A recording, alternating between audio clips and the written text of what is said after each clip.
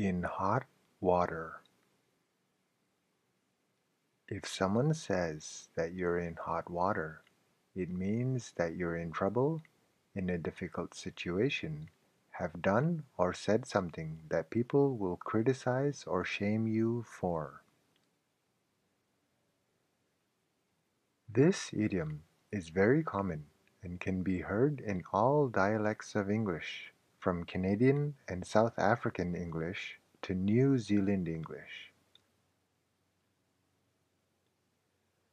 I'm in hot water with the wife.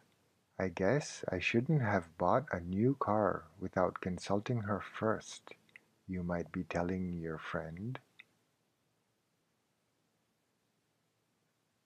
Maybe you and your partner come back from a weekend trip to find that your teenagers had a wild party while you were gone. You guys are in hot water. Look at this mess.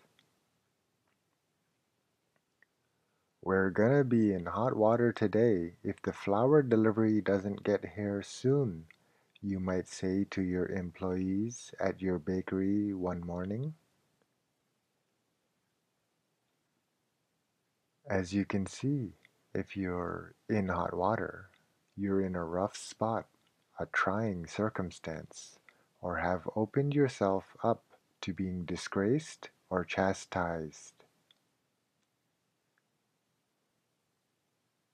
The idiom in hot water can be found in writing as early as 1537, where it started life off as cost me hot water according to Gareth Rees via Stack Exchange.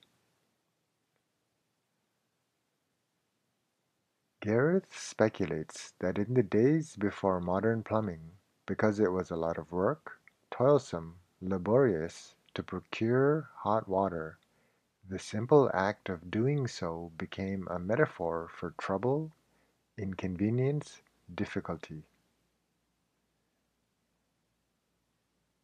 This idiom would have continued to gain popularity until at least 1868, when an English painter, Benjamin Waddy Maughan, invented a geyser that heated cold water in the home.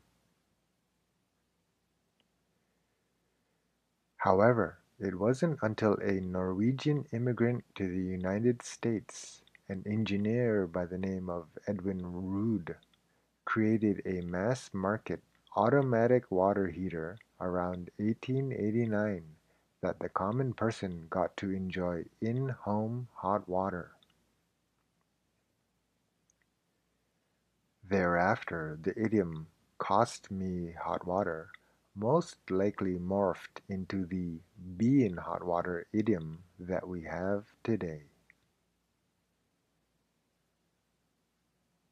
Before the invention of the automatic water heater, preparing hot water was probably seen as an inevitable task that was part of daily life and not something that could be avoided.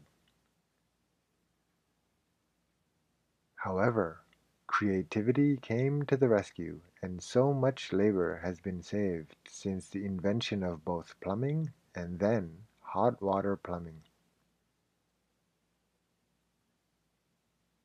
Whatever problem you may face, there is always a solution, indeed, most likely multiple solutions. You just have to be creative, not give up, persevere, and don't take no for an answer. If we don't figure out what to use instead of toilet paper, we're gonna be in hot water your partner might say after coming back from the supermarket and finding the shelves emptied due to panic buying. Perhaps you injured both hands while playing sports. Uh-oh, I think we're in hot water now.